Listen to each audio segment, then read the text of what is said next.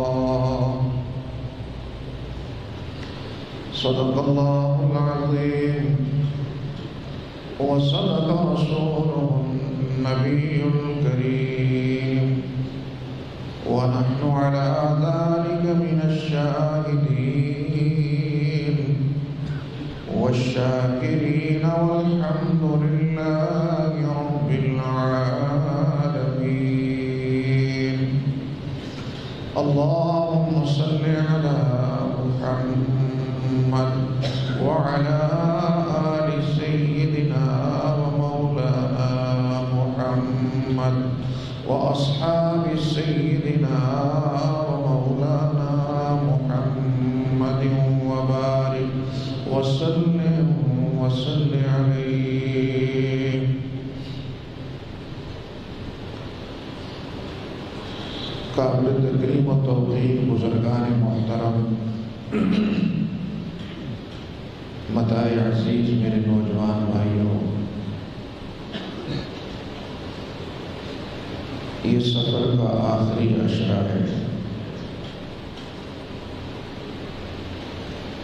जब मैं गम में डूबा हुज़्न मलाल की तस्वीर बना तो मेरी चौदह सौ साल पहले चली गई। कि मुझसे मेरा भाई बिछड़ा मैं इतना गमगीन हूँ। जब कायनात से कायनात से मुस्तफ़ा तशरीफ़ ले गए, वो गम कैसा होगा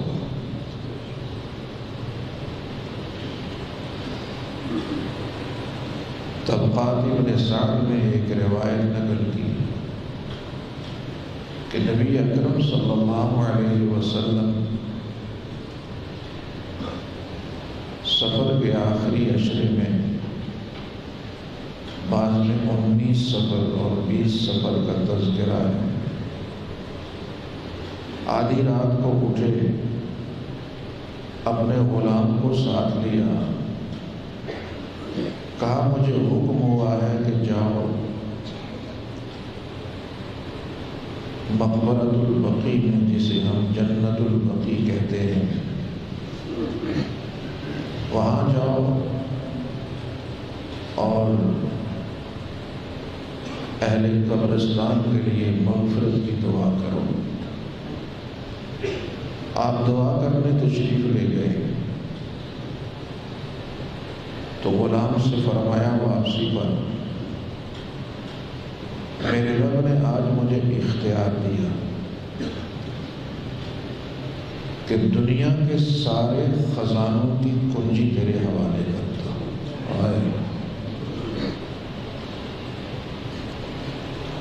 और क़यामत तक की ज़िंदगी भी अदा करता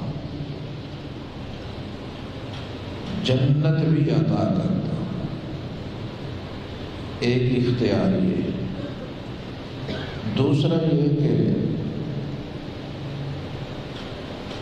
मैं मुलाकात करना चाहता हूँ, जन्नत भी अदा करना चाहता हूँ। इन दोनों में से जिसे चाहे आप इख्तियार कर लें। तो गुलाम की सोच छोटी थी और अपना भी लालच था। अर्ज़ करने लगा, अल्लाह के महबूब, आपने पहले वाली पेशकश को कबूल किया होगा, ताकि आपका वजूद क़यामत तक उम्मत में बाकी रहे। फरमाया, नहीं नहीं, मैंने पहले को कबूल नहीं किया, मैंने दूसरे को कबूल कर दिया।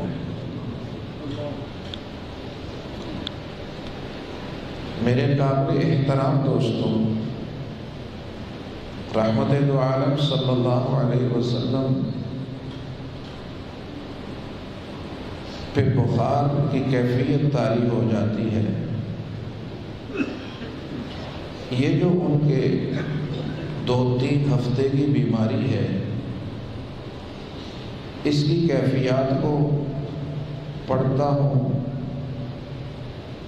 तो अजीब तबीयत में कैफियत बर्पा होती हैं।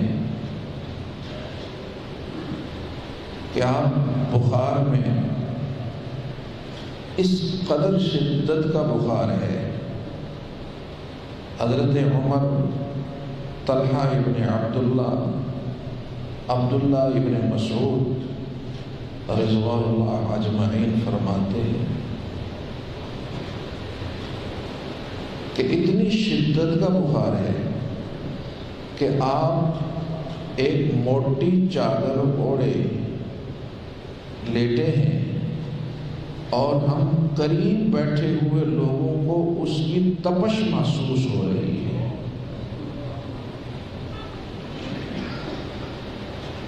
और आप पर वो कैफियत, वो तकालीफ, गशी आ रही है। तो सैदा आयशा अल्लाह तहा फरमाती है कि मैंने अपने महबूब पे सकरातुल मौत देखी। वो जो शिद्दत हमने देखी, उसके बाद फिर मुझे किसी की शिद्दत कभी महसूस ही नहीं ये कौन है? ये साकी कौसर है शाफी माशर है बरतर है, बालातर है बाला कदर है तमाम अम्बिया का अफसर है, जिसे इमाम अम्बिया हज़रत मोहम्मद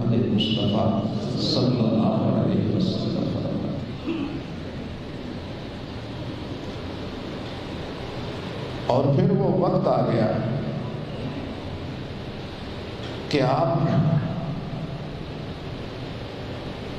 मुसलसल आप में बुखार की वजह से गशी तारी होती है। आँख खुलती है। पीर का दिन है। जबरील अमीन हाजिर होते हैं। अर्ज़ करते हैं आका, आज मेरे साथ इसराइल भी आए हैं।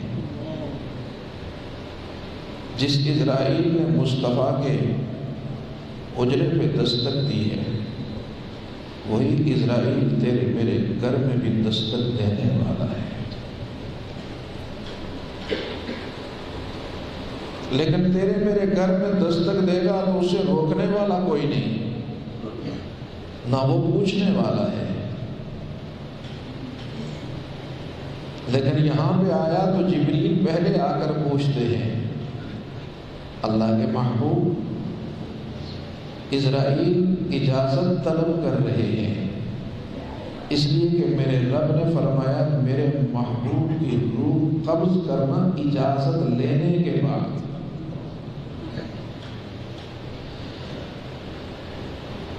आप इस आलम में हैं। आप पे सकरातुल मौत है। शिद्दत का बुखार है। और ऐसे में एक रिवायत आती है कि फरमाया हाँ मैंने रफ़ीकुल आला को इख्तियार कर लिया है, लेकिन मुझे अपनी उम्मत की परेशानी है।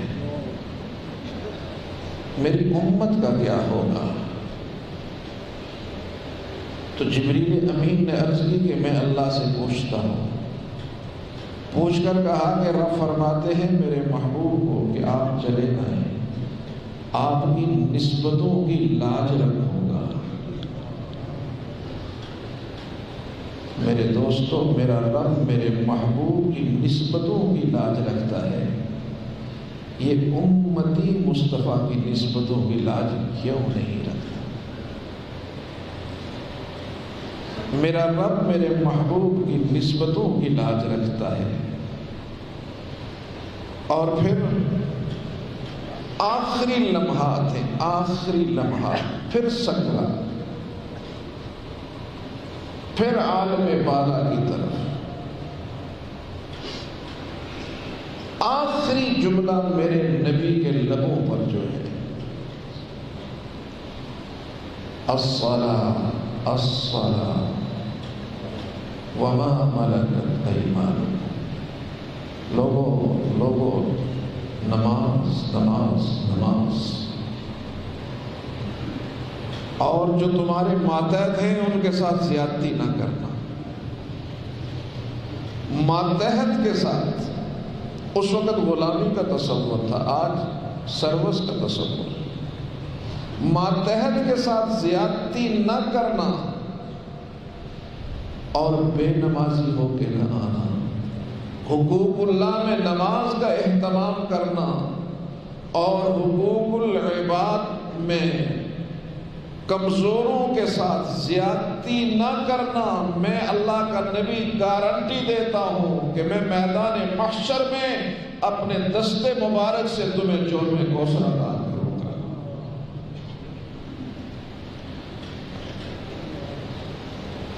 फिर आपकी रूह परवाज कर जाती है,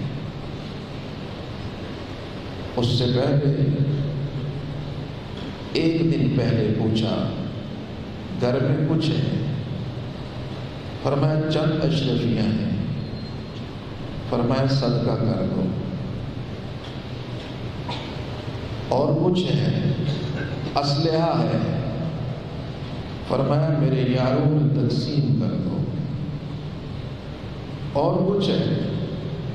आका और कुछ भी नहीं। एक रवायत देखी कि वो आखिरी रात जो मेरे महबूब ने अपने हुजरे में गुजारी, उस रात शराब में तेल भी नहीं था। दुनिया से मेरा महबूब जा रहा है। अपने उजरे में जिसने पूरी दुनिया में जुल्मतों को मिटाया, पूरी दुनिया में अपने नूर से जुल्मतों को मिटाया, आज उसके हुजरा अथर में चराग भी नहीं जल रहा। मेरा महबूब दुनिया से गया। मेरे महबूब ने गारंटी दी कि जिनके पास दो बुनियादी चीज़ें, नमाज़ और कमज़ोर के साथ खड़ा होना। फिर आप इंतकाल फरमा जाते हैं। आज सबसे पहले आपकी नमाज़ जनाजा, उसी गुजरा में जबरील अमीन ने अदा की। सहाबा आ रहे हैं, नमाज़ पढ़ रहे हैं, जा रहे हैं, पढ़ रहे हैं, जा रहे हैं। फिर जब आपकी तदफीन होती है तो सैदा फातिमत जहरा रज़ी अल्लाह तहा ने एक अजीब जुमला फरमाया, अबू जर गफ्फारी को मुखातब करके कि वो मुस्तफ़ा के यारों, वो दिल तुमने कहाँ से लाया? वो दिल कहाँ से लाया कि महबूब कायनात को ज़मीन पे उतार कर आपकी कब्र मुबारक पे मट्टी रख दी? वो दिल कहाँ से लाया? तो चीखें निकल गई असहाब मुस्तफ़ा की। उससे बड़ा गम उम्मत को कभी नहीं मिला।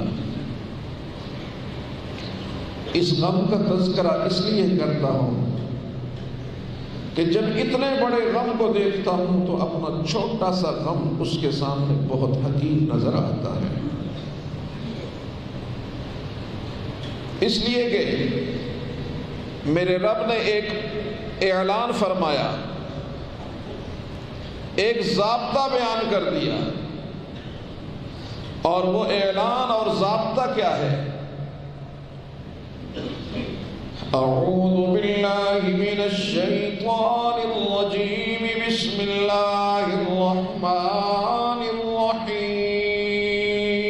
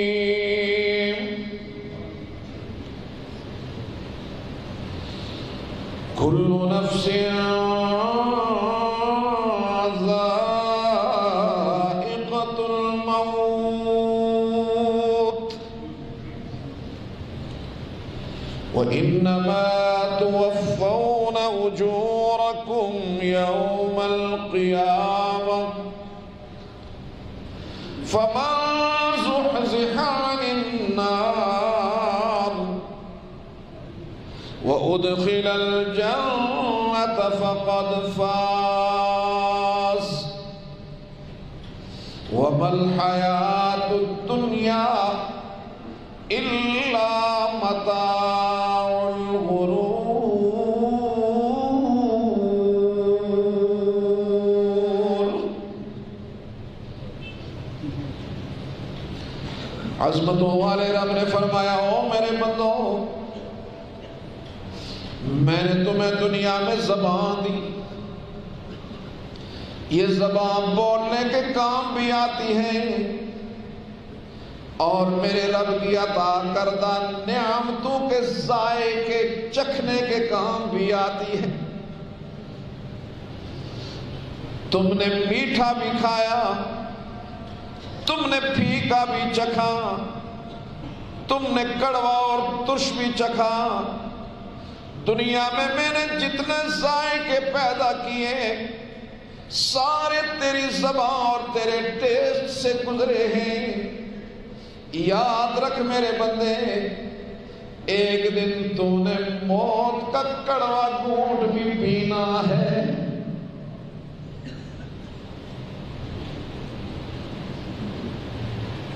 अल्लाह फखरुद्दीन राज़ी रहमहुल्लाह ताला फरमाते हैं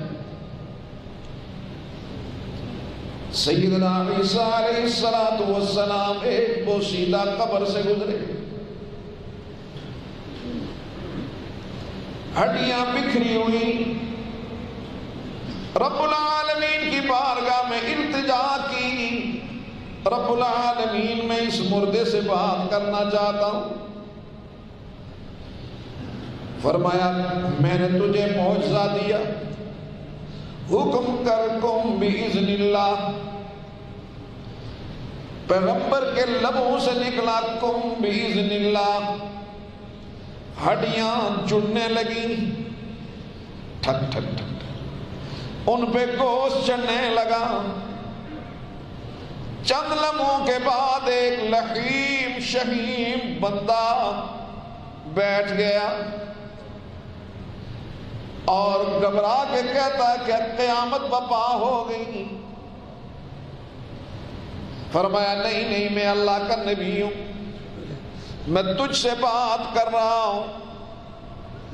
कितना अरसा हो गया? पूछा, कौन सा वक्त है? कौन सा जमाना है? तो पता लगा, ये कोई साढ़े तीन हज़ार बरस पहले इस पे मौत आई। लेकिन वो कब कब आ रहा है वो लरज रहा है। उसकी आँखों में आँसू हैं। सैदना ईसा सलाम ने पूछा, तू परेशान क्यों? कब कपा? क्यों रहा है? कहने लगा, ईसा, तेरे रब की कसम है। साढ़े तीन हज़ार साल पहले मैंने मौत का जायका चखा। आज भी उसकी कड़वाहट मेरी जबान पे उसी तरह है।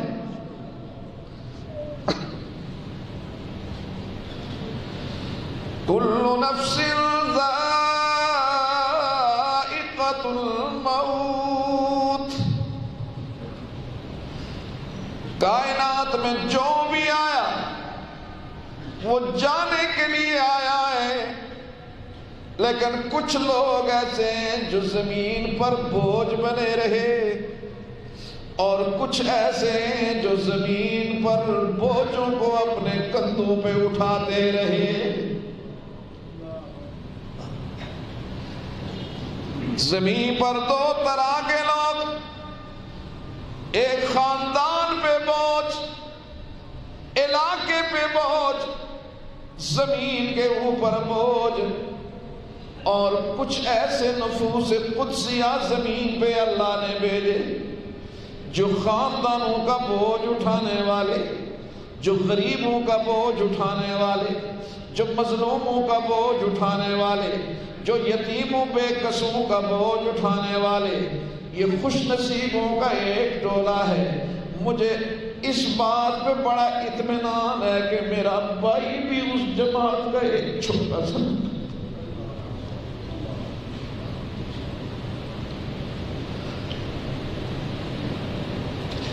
बेकसों को देखकर तड़पने वाला, मजलूमों को देखकर बेचैन होने वाला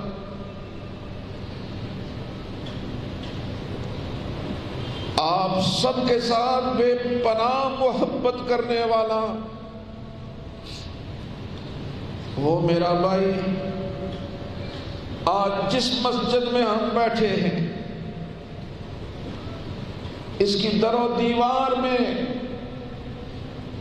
इसकी कोई फट्टी ऐसी नहीं, कोई ईंट ऐसी नहीं, जिसके साथ कारी मसूद खड़ा नज़र नहीं।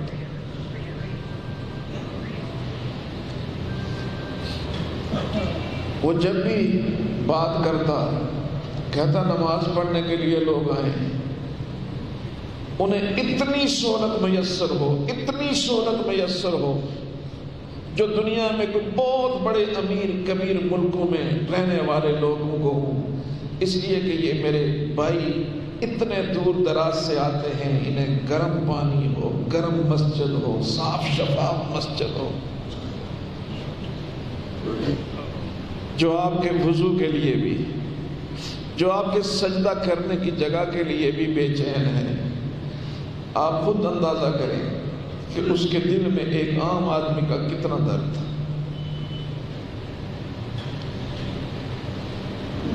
वो मजलूमों को देखकर तड़पने वाला, वो मेरा बहुत ही काबिल कदर, मेरा भाई, जिसने वो इदारा जो हमारे अकाबिर ने अपनी मेहनतों के साथ जिसकी बुनियाद रखी थी,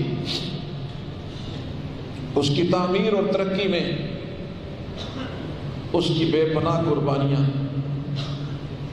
सारा गुलशन बनाकर, खूबसूरत मस्जिद बनाकर, आपके लिए सफ़े बिछाकर, मस्जिद में एसी लगाकर ठंडे गर्म पानी मुहैया करके चुपचाप मस्जिद के पहलू में जाकर सो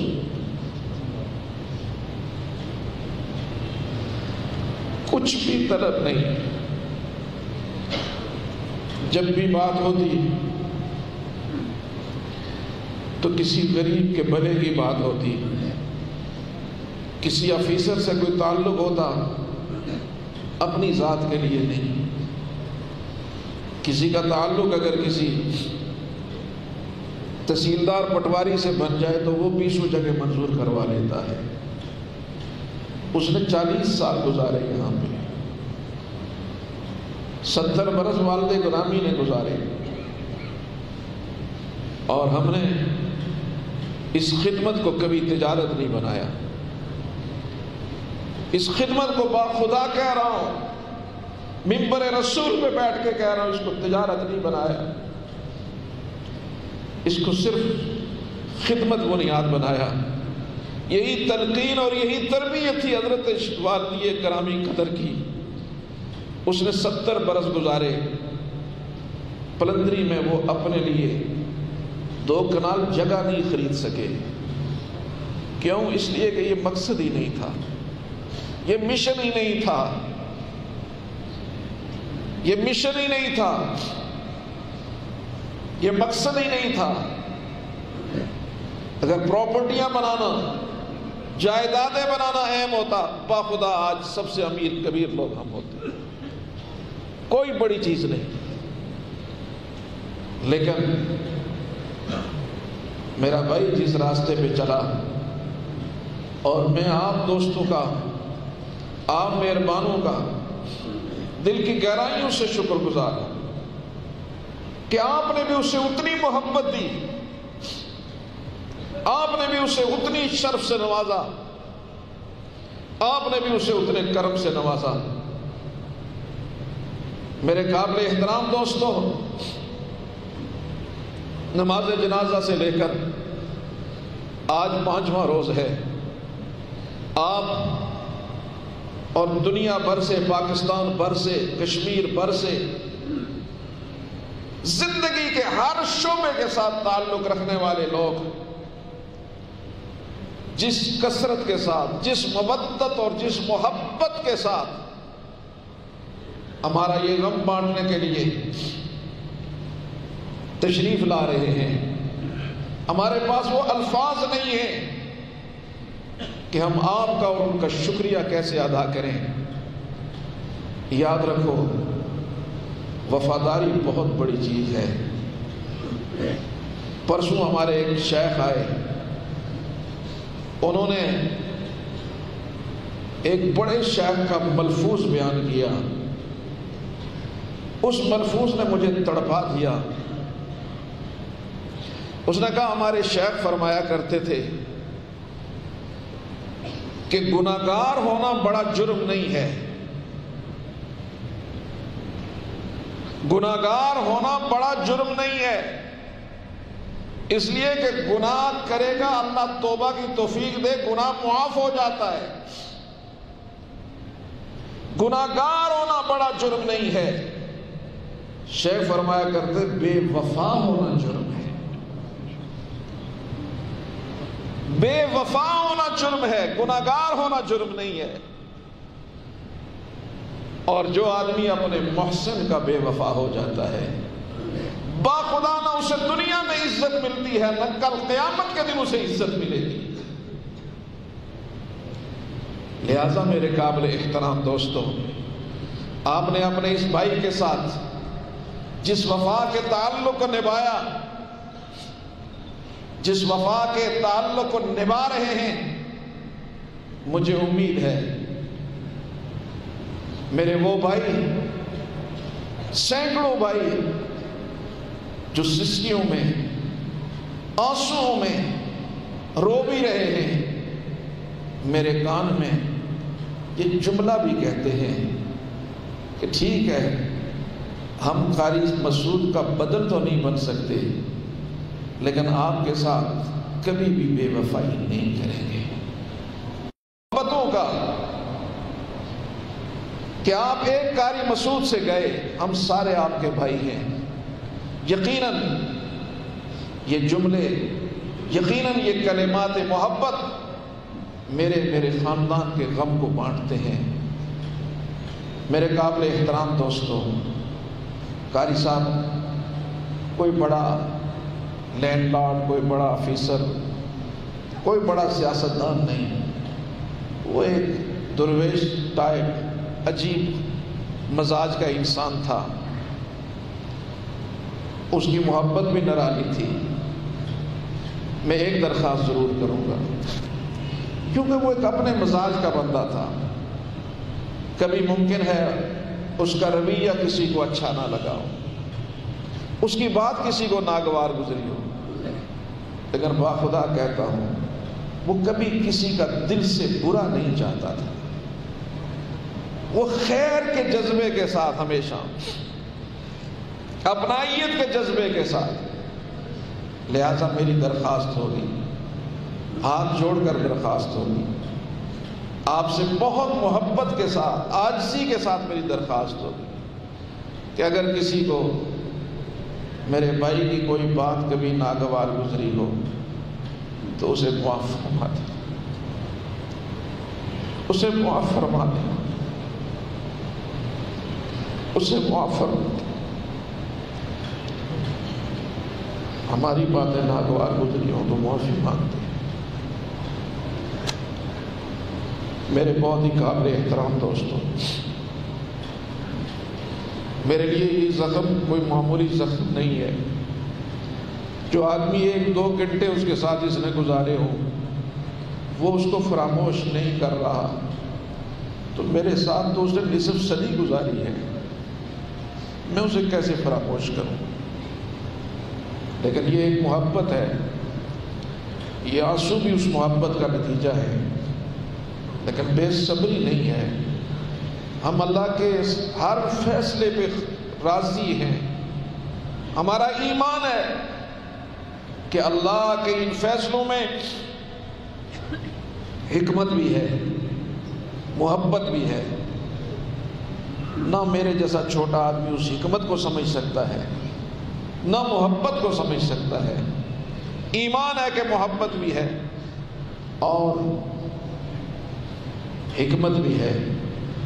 अल्लाह कारी साहब के बच्चों को, मेरे भाइयों को, उनका हकीकी मानों में नियामल खल्फ बनाए। बहुत सारे दोस्त अपनी मोहब्बत से कहते हैं, कारी साहब ने बहुत सारे मामलात संभाल रखे थे। मामलात का क्या होगा? मैंने उनको भी कहा, यहाँ भी कहता हूँ, मामलात किसी के मोहताज नहीं होते। ना वो मेरे मोहताज हैं कल लोग कहते थे, हज़रत शेखुल अज़ीज़ नहीं होंगे। तो क्या होगा? ये अल्लाह का निज़ाम है। अल्लाह ने एक के बाद दूसरे को जब तक उस निज़ाम को चलाना है, तैयार कर रखा होता है। जब निज़ाम को मिटाना होता है तो फिर बंदा उठा लेते हैं। मेरा ईमान है कि अल्लाह ने जब तक इस निज़ाम को चलाना है, अल्लाह ने एक के बाद दूसरे को तैयार किया होगा। निज़ाम के लिए कभी द खातर नहीं हूँ। मैं तो अपने बावफा भाई की जुदाई के लिए कभी द खतर मैं ज़िंदगी के कोई मरहला ऐसा नहीं है जिसमें वो मेरे साथ चिटान बनकर खड़ा नहीं रहा। ज़ाहिर है वो एक आम मजलूम के लिए तड़प जाता था। तो मैं तो उसके लिए कुल कायनात था हज़रत वालदी मुकर्रम के बाद अल्लाह वहदला शरीफ कारी साहब की मफरत करे। मेरे लिए ये गम एक काफ़ी था कि उसी दिन एक बहुत बड़ा सानहा कराची में वाक़ हुआ। हज़रत मौलाना डॉक्टर आदिल साहब को सरे बाज़ार मजलूमन शहीद कर दिया गया। कोई जुर्म नहीं, कोई आवाज़ नहीं, कोई कुछ नहीं। सड़क पर खड़ा है और जालिम आकर गोली मारता है। वो डॉक्टर आदिल, उस जैसे लोग इस उम्मत में शायद सदियों में पैदा हो। वो स्कॉलर था मुफक्र था मुहदस था, कई जबानों पर अबूर था। बड़ा जरी था, अपने मौकफ पे बड़ा मज़बूत था। पाकिस्तान के बहुत बड़े इदारे का सरबराह था। लेकिन यह अजीब बात है, वो मलेशिया थोड़ा अरसा यूनिवर्सिटी में प्रोफेसर की हैसियत से खदमात दी। तो मलेशिया के सदर ने उन्हें एवार्ड दिया। उनकी तदरीस पर, उनकी सलाहियत पर उन्हें एवॉर्ड दिया गया। मलेशिया में डॉक्टर आदिल पहुँचा तो एवॉर्ड मिला और पाकिस्तान में पहुँचा तो गोली